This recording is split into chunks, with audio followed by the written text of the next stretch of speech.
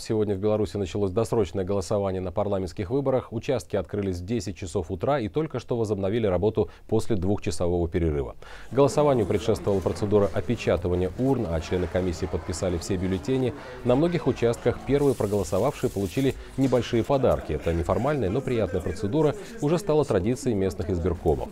Для того, чтобы сделать свой выбор заранее, причину объяснять не нужно, но, как правило, это личные планы на выходной день, либо рабочий график свой выбор и сегодня, и 11 был бы один и тот же. Я изучил внимательно всех кандидатов и голосую за того, на кого определился.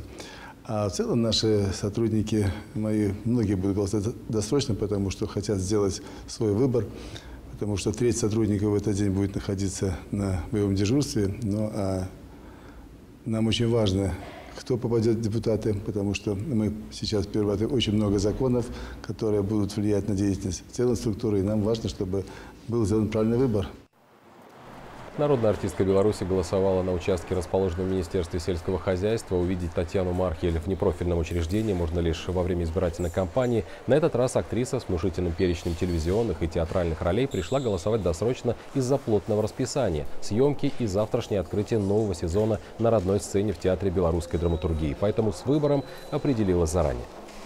Широкая шла информация про э, кандидатов.